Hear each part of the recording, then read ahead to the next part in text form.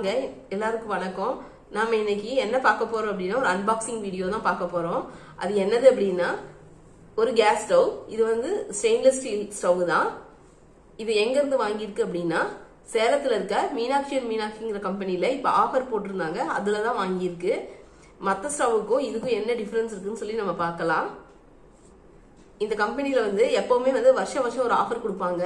நான் வந்து இந்த ஆஃபரை யூஸ் பண்ணி அதாவது வருஷம் நியூ இயருக்கு வந்து இங்கிலீஷ் ஆங்கில புத்தாண்டுக்கு வந்து நமக்கு வந்து ஆஃபர் கொடுப்பாங்க. அது எந்த வருஷமோ தொடங்குதோ அந்த அமௌண்ட்டுக்கு வந்து ஒரு ஆஃபர் கொடுப்பாங்க.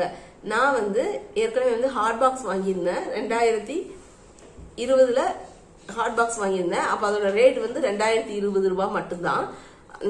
ஹாட் பாக்ஸ் வந்து ரொம்ப நல்லா இருக்கு. அதுக்கப்புறம் ஒரு தேங்காய் பால் இருக்கிற ஜூஸர் வாங்கியிருந்தேன். அதுவும் நல்லா இருக்கு. அதனால இந்த தடவை எனக்கு ஒரு ஸ்டவ் தேவைப்பட்டது. அதுக்காக இந்த ஸ்டவ்வை வாங்கியிருக்கேன். இப்போ வந்து இந்த ஸ்டவ்வோட ரேட் வந்து எல்லாமே வந்து இதுக்கான மூலாதார பொருட்கள் எல்லாமே விலை ஏறிடுச்சு அப்படிங்கறதுனால அவங்க வந்து விலையேற்றிருக்கிறதா சொல்றாங்க. என்னன்னு கேட்டா ரெண்டாயிரத்தி இருபத்தி ரெண்டு ரூபாய்க்கு பதிலாக இருநூத்தி இருபத்தி ரெண்டு ரூபாய் இருநூறு ரூபாய் சேர்த்தி கொடுத்துருக்காங்க. இதுல நம்மளோட கொரியர் சார்ஜ் எல்லாம் சேர்த்தி வரும்போது ரெண்டாயிரத்தி அறுநூத்தி இருபத்தி ரெண்டு ரூபாய் கொடுத்துருக்காங்க. இது புக் பண்ணி ஒரு டென் டேஸ்க்குள்ளேயே நமக்கு வந்துருச்சு. இந்த ஆஃபர் வந்து இந்த மந்த் எண்டோடயே முடிஞ்சிரும். நீங்க இனி திரும்பி வாங்குறது அப்படின்னா பொங்கலுக்கு பாருங்க ஆஃபர் போட்டா வாங்குங்க. இல்லைன்னா நெக்ஸ்ட் இயர் யூஸ் பண்ணிக்கிங்க. இன்னொன்று வந்து இவங்க கொடுக்குற ப்ராடக்ட்ஸ் எல்லாமே வந்து நல்லா இருக்கு. அப்புறம் ஒரு மிடில் கிளாஸ் ஃபேமிலி அவங்க பொண்ணுங்களுக்கு கல்யாணம் பண்ணணும்னு நினைச்சா கூடி நம்ம இந்த மாதிரி ஒரு இது வருஷம் வருஷம் பூரா ஒரு சீட் அமௌண்ட் மாதிரி எடுத்து வச்சு கூடி வருஷ கடைசியில நம்ம எல்லா ப்ராடக்ட்டுமே வாங்கலாம். நல்லா இருக்கு ப்ராடக்ட்டும் நல்லா இருக்கு. இப்போ நம்ம இந்த கேஸ் ஸ்டவ்வை ஓப்பன் பண்ணி பார்க்கலாம். நமக்கு பேக்கிங் வந்து நல்லா ஸ்ட்ராங்காக பண்ணி கொடுத்துருக்காங்க. பாக்ஸும் நல்லா கெட்டியாக போட்டு நிறையா தெர்மாக்கோல்லாம் வச்சு பாருங்க இந்த இந்த மாதிரி தான் பண்ணியிருக்காங்க. நம்மளோட இந்த பர்னர்லாம் வந்து ஆடாத அளவுக்கு நல்லா தெர்மாக்கோல் வச்சு நல்லா ஸ்ட்ராங்காக பேக் பண்ணி கொடுத்துருக்காங்க. நம்ம நமக்கு இந்த ஸ்டவ்ல மூணு பர்னருமே நல்ல ஸ்பேசியஸா இருக்கு. இந்த நடுவில் இருக்கிறது தான் குட்டியா இருக்கு. அப்புறம் நம்ம இந்த ரெண்டு பக்கம் பெரிய பாத்திரம் வச்சா கூட இது வந்து இடிக்காது. இதுல வந்து நம்ம வந்து நல்ல பெரிய குக்கர்லாம் வைக்கலாம். இது வந்து ஜம்போ பர்னர் இது வந்து ஸ்மால் பர்னர் இது வந்து மீடியம் பர்னர் நமக்கு இந்த பர்னருக்கு மேல கொடுத்துருக்குற இந்த ட்ரே வந்து நல்லா ஸ்ட்ராங்கா இருக்கு. நல்ல வெயிட்டாவே இருக்கு. இன்னொன்னு இந்த கோட்டிங் கொடுத்துருக்காங்க. பவுடர் கோட்டிங் தான் கொடுத்துருக்காங்க. நம்ம எப்பவும் போல மற்ற ஸ்டவ்ல இருக்கிற மாதிரி தான் இதுவும் இருக்கு. அதுக்கப்புறம் இந்த பர்னர் வந்து பித்தளை பர்னர் தான். இதுவும் வந்து நல்ல வெயிட்டா இருக்கு. எல்லாத்துலயுமே அந்த மாதிரி தான் இருக்கு. இதுக்கு வந்து இந்த கீழே ட்ரிப் ட்ரே ஒன்று கொடுத்துருக்காங்க. இந்த ட்ரே வந்து நம்ம இப்படி வச்சு எடுத்துட்டு எடுத்துட்டு கழுகுற மாதிரி தான் இருக்கு. மற்ற ஸ்டவ்ல வந்து பார்த்தீங்கன்னா அது கூடயே கொடுத்துருப்பாங்க. இதில் வந்து நம்ம வந்து செப்பரேட்டாக எடுத்துட்டு நம்ம வாஷ் பண்ணிட்டு வச்சுக்கலாம்.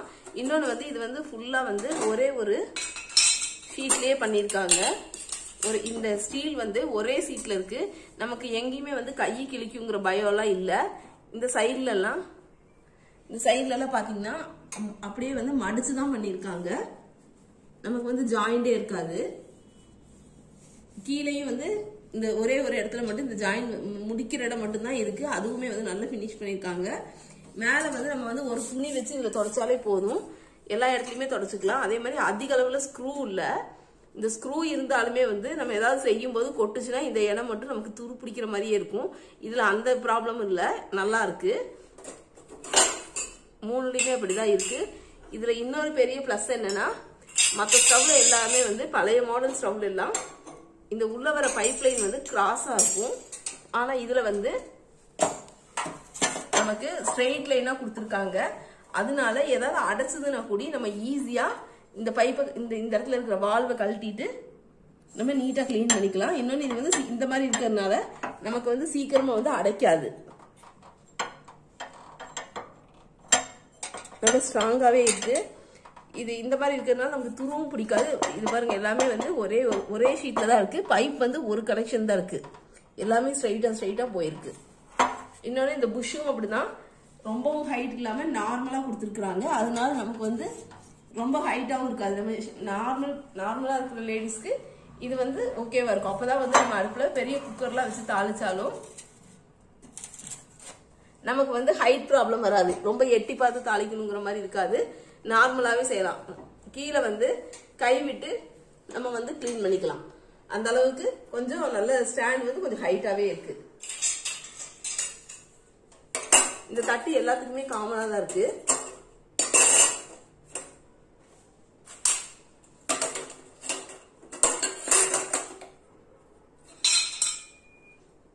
இந்த தட்டு இந்த ஸ்டாண்டு எல்லாமே வந்து காமனா இருக்கு. அதனால வந்து நம்ம வந்து எது வேணா எதுக்கு வேணா போட்டுக்கலாம். இதுல ஒரே ஒரு எனக்கு வந்து இந்த ஸ்டவ்ல ஒரே ஒரு டிராபேக் என்னன்னு சொல்றேன். இந்த ஸ்டவ் பத்த வச்சுட்டு எப்படி இருக்குன்னு சொல்லி காமிக்கிறேன் நமக்கு வந்து சிலிண்டர் மாற்று மாட்டுறதுக்கு இந்த பக்கம் நமக்கு ஸ்க்ரூ கொடுத்துருக்காங்க. அதாவது நம்ம சமையல் கட்டில் நிற்கும் போது நம்மளோட இடது கை பக்கமா இது கொடுத்துருக்காங்க. பொதுவாகவே எல்லார் வீட்லையும் இந்த பக்கம் தான் நம்ம மாட்டியிருப்போம். அது வந்து கரெக்டாக தான் கொடுத்துருக்காங்க.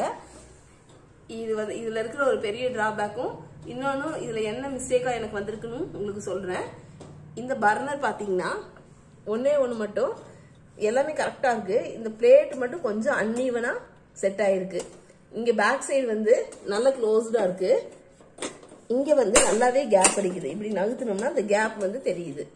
மற்றதில் வந்து அதிக அளவில் கேப் இருக்கு. இவங்க இதுக்கு மேலே வந்து நம்ம மற்ற ஸ்டவ்ல அதாவது நான் வந்து ப்ரஸ்டீஜ் வச்சிருக்கேன்.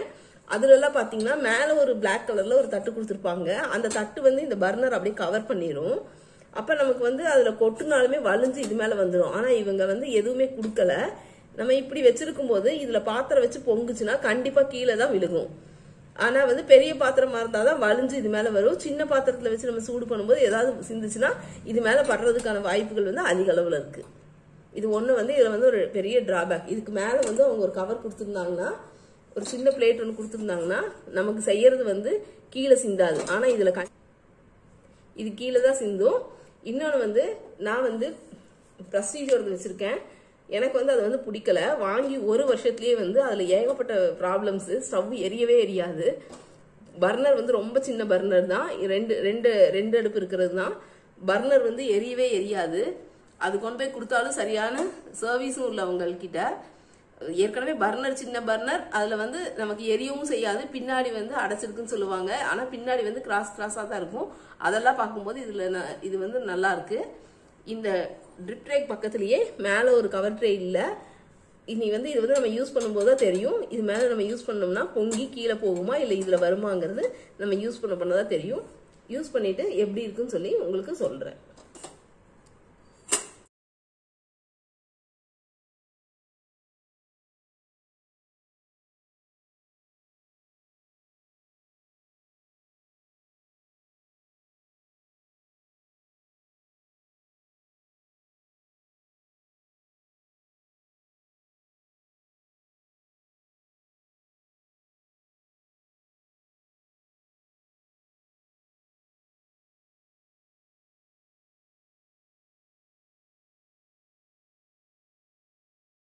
ஸ்டவ் வந்து நல்ல ஃப்ளேமும் வந்து நல்ல ஃபாஸ்டாகவும் எரியுது. எந்த இடத்துலையும் சைட்லலாம் எதுவும் எக்ஸ்ட்ராவெல்லாம் இல்லை எரியலை. நல்லா இருக்கு. அதே மாதிரி ஸ்டவ் வந்து நல்ல ஸ்பேசியஸாக இருக்கு. இந்த ஜம்போ பர்னர்ல வந்து ஒரு அஞ்சரை லிட்டர் ப்ரெஷர் பேன் வச்சிருக்கு. மீடியம் சாரி ஸ்மால் பர்னர்ல வந்து ஒரு பால் பாத்திரம் ஒரு அரை லிட்டர் பால் காய்ச்சுற அளவுக்கு பாத்திரம் வச்சிருக்கு. அதுக்கப்புறம் மீடியம் பர்னர்ல வந்து இந்த கடைசியில மீடியம் பர்னருக்கு இதுல வந்து ஒரு நல்ல பெரிய தோசைக்கல்லே வச்சிருக்கு. இப்ப நம்ம மூணு வச்சு ஈஸியாவே சமைக்கலாம். நல்லா இருக்கு. என்ன? நம்ம வந்து கொஞ்சம் ஷார்ட்டா இருக்கவங்களுக்கு இந்த ஸ்டாண்டு வந்து ஹைட்டா இருக்கு. கீழே கொடுத்துருக்க இந்த புஷ் வந்து கொஞ்சம் ஹைட்டா இருக்கு. அது எதுக்குன்னு சொன்னா நம்ம கை வச்சு துடைக்கிற மாதிரி வசதியா இருக்குன்னு சொல்லி சொன்னாங்க. பட் நம்ம கொஞ்சம் ஷார்ட்டா இருக்கிற மாதிரி இருந்தோம்னா இந்த புஷ்ஷை கழட்டிட்டு நம்ம சின்ன புஷ் மட்டும் நம்மளோட தேவைக்கு போட்டுக்கலாம். அப்போ நமக்கு இந்த வதக்கறதெல்லாம் வந்து கொஞ்சம் கீழே இருக்க மாதிரி இருக்கும். அது ஒண்ணுதான் வந்து இந்த ஸ்டவ்ல ஒரு டிராபேக் வேற எதுவுமே இல்லை. நல்லா இருக்கு. கண்டிப்பா இது எல்லாரும் வாங்கலாம்.